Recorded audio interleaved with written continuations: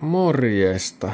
Taas tuli koneeseen tänne vikaa, eli tämä nyt oli odotettavissa jo, mutta tämä täältä on jotenkin tukkoon tämä mun MSIn kuuleri. Ja tämä tosiaan näissä oli ihan niinku tunnettu ongelma. Tää kesti semmoisen kaksi ja puoli vuotta näköjään. Eli sinne on tullut tukkeamaan jonnekin tonne prossun lähelle. Pitää tuohon tuolta avasta ja katsoa, että mitä siellä on käynyt, mutta semmoisen kaksi ja puoli vuotta kesti kumminkin, että ei nyt ihan huonosti silti. Tää näkyy tuo lämpötila, eli tuolla on ton prossu lämpötila semmonen 100 astetta, mikä on aika paha homma. Et semmoista. Eli ei tässä muu auta kun lähtee purkamaan, purkamaan tätä tuolta ja katsotaan mitä se on syönyt ja vaihdetaan sinne uudet nesteet sisälle ja katsotaan jos saata sillä tämä kuntoon. Jos ei, sitten ostetaan uusi vaan. No joo, kyllähän siellä aika niinku likasta tää neste oli. Eli joo. Tää oli niinku aika tuota... Aika tämmöstä ihme niinku moskaa tuolla oli ja tämmöstä vähän niinku hiekan tyylistä ja siitä tota... On tuo vesikin tämmöstä ihan ruskeita jo, vähän niinku ruosteista tai mitä nyt voi sanoakaan. Eli mä otin täältä tän levyn tosta tuolta irti. Eli se oli vaan ihan ihan kiinni tota, tämmöisillä pikkuruuveilla. Nämä oli tuota tuota. Mitäs nämä oli? T8 torksi.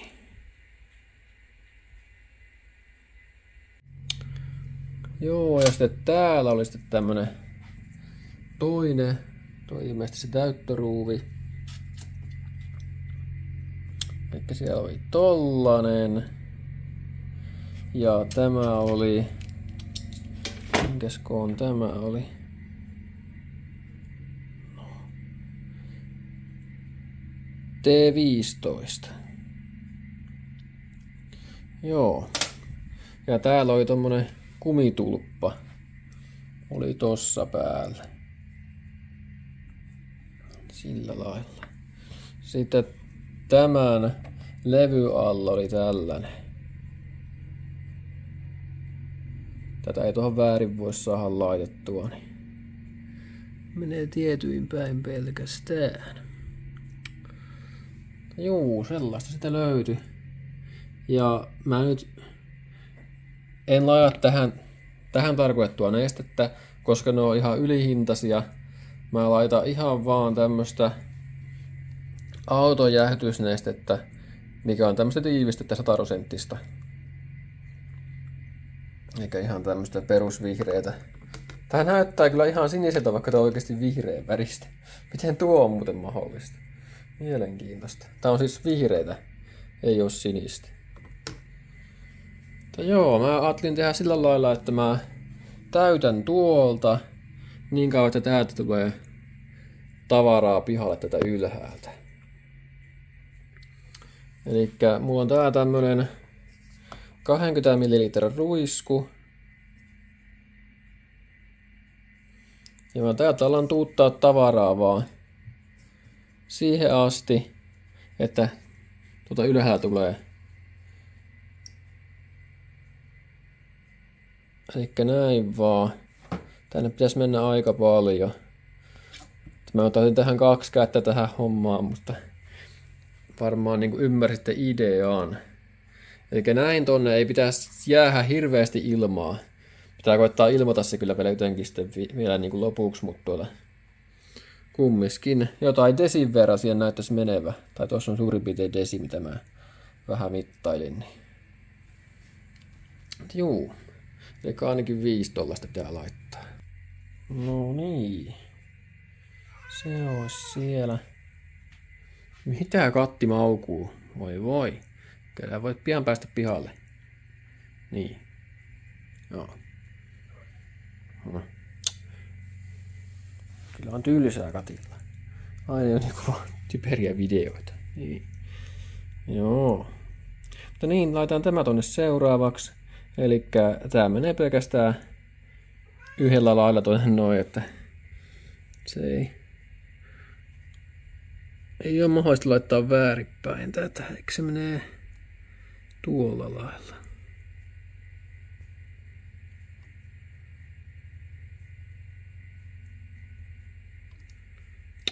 Joo, se olisi siellä. Sitten tähän päälle tulisi tämä.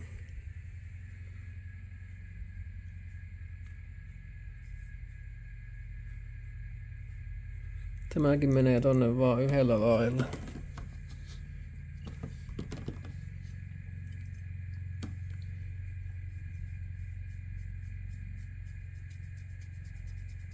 Siinä on vähän jotain moskaa.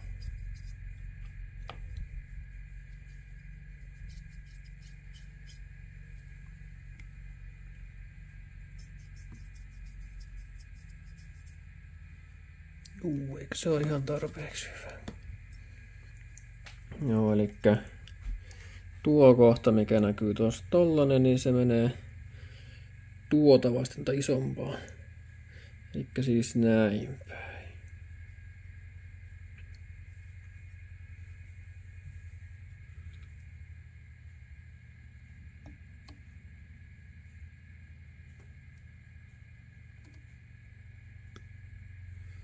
No ja sitten vaan laitetaan siihen näitä ruuveja täältä.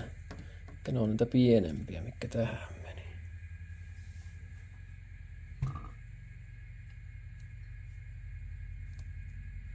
Joo, mä laitan nuo tuonne seuraavaksi.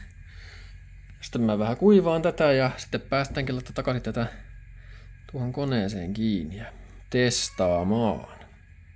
No niin, ja se olisi taas kasassa.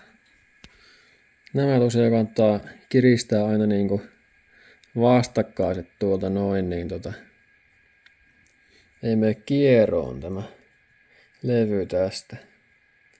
Tämmöisen saa aika herkästi kyllä kieroon varmastikin. Voi alkaa vuotaa jostakin. Joo. Niin ja tämä. Eikä tämä tulppa täältä.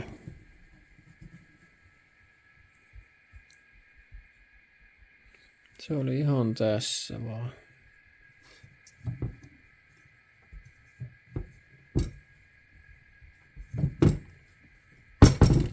No. Sitten voidaan mennä asentamaan. No niin, eli mä tätä testasin, mutta tämä pumppu pyöri tyhjää tuolla. Eli täällä oli ilmaa täällä järjestelmässä Eli mä tein nyt sillä lailla, että mä tein tonne on nyt roikkumaan noin, ja mä teen sen lopun täytön nyt täältä, mihinkä tää pumppu tulee, niin se on ainakin sata varmasti täynnä sitten. Nyt se ainakin on niin täynnä kuin pystyy olla. Ja sitten uusinta testiä. No niin, nyt tämä tilanne on huomattavasti parempi. Eli täällä on nyt 33 astetta näin tyhjäkäynnillä, kun täällä oli ennen 60 astetta, eli lähes tuplalämmöt. Ja tämä on nyt aivan niin kuin hiljaisen kuulonenkin, kun tämä huuti ihan järkyttävästi tämä värkki, kun se ylikuumeni, niin oli tuulettimet koko ajan täysillä. Että kyllä täytyy ainakin jotain auttaa. No joo, ei tuo tuosta kolmesta kuudesta mihkään enää nouse, eli se pysyy tuossa 35 36 paikalla tässä näin niin tyhjäkäynniä tuo lämpötila. Mikä tuo on mun mielestä ihan normaali. Tai niin oli aikaisemminkin, mutta laitetaan tätä testiä nyt seuraavaksi tulille. Ja katsotaan tuo CPU stress-testi ja sieltä starttia vaan. Mutta joo, että heti nousee ainakin tuo Core lämpötila. Mutta ei noussut sataa asti. Ja tämähän on jo niinku positiivinen yllätys tämä, että. Joo, no lämmö pysyy nyt huomattavastikin paremmin. Eli täällähän tämä kore, täällä oli sadassa koko ajan, ja se ei mennyt sitä mihinkään suuntaan oikeastaan.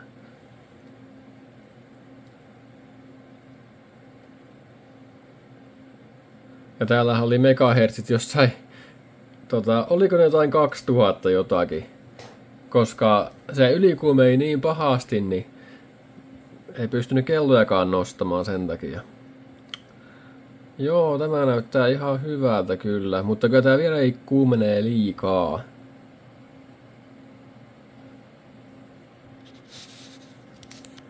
Ja mun mielestä tuo kore lämpö mun mielestä ei pitäisi olla noin korkea. Tai mun tässä ei ainakaan ollut aikaisemmin. Täälläkin on tää, lukee tää thermal throttling nyt. Eli tuo lämpötila rajoittaa nyt tehoja. Eli on tää vieläkin jotenkin, jotenkin ilmeisesti tukossa. Tämä näin, mutta ihan älyttömästi parempi. Ja nyt tällä koneella pystyy ihan varmasti jo editoimaankin. Mä veikkaisin. No, sitten kun tämä video julkaistaan, niin sittenhän sen selviää, että toimiiko tämä kone tällä näin. Tää näkyy näitä tehoja, mitä täällä menee, ja tuo thermal throttling koko ajan on päällä näköjään. Semmoista 140 wattia näköjään.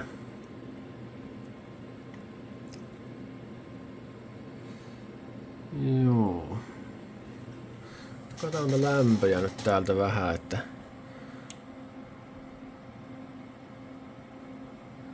onko tässä meillä letken välillä mitään no on tässä tota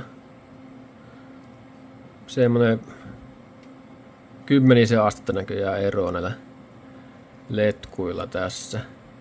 Kyllä siellä niin kuin jotain tapahtuu ihan selkeästikin.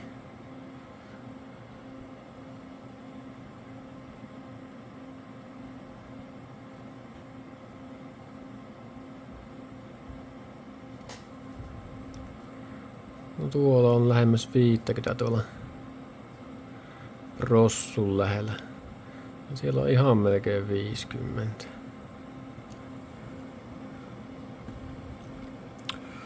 Joo, mutta kyllä tämä nyt paremmin toimii kuin aikaisemmin, ihan huomattavastikin. Tästä kohtaa niinku, tästä kohtaa lämpiää, mutta täältä on ihan vilponen. Että en mä tiedä, kuuluuko se ollakin näin vai... Vai onko se lämmön siirtymä tuolla välillä ihan hirveän hidasta.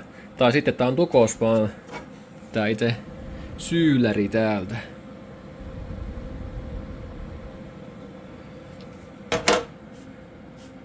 Tuo kenno. Tästä kohtaa on ihan lämpöinen niinku. Jostain, jostain täältä. Mutta tota, täältä on aivan vilponen.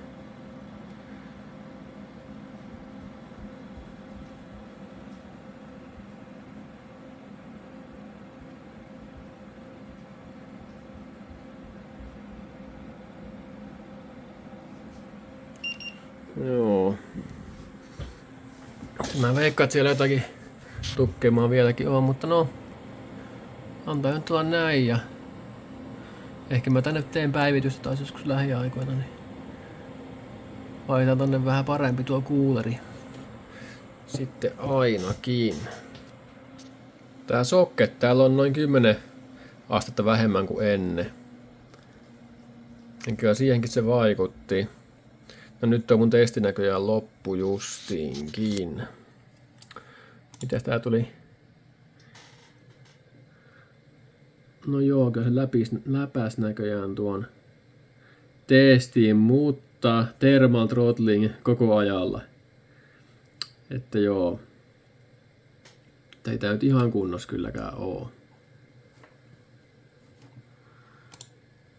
Semmoista. Mutta aika äkkiä nuo lämmöt näköjään tätä tippuu ja kyllä tämä ainakin jollakin lailla toimii. Toinen letku on huomattavasti lämpöisempi kuin toinen. että se jotain niin kuin tapahtuu. Eli videot on tuossa lisää taas lähiaikoina. Niin ja kiitoksia muuten uusille jäsenille. Sillä oli Veeti ainakin tullut. Taisi olla muitakin, mutta en nyt äkkiä muista nimeltä, mutta kiitoksia sinne vaan. Ja Suppari Seppohan mulla oli jäsenä varmaan jo neljä vuotta tai jotakin, että kiitoksia vaan. Mutta joo, jatketaan tästä. Morjens.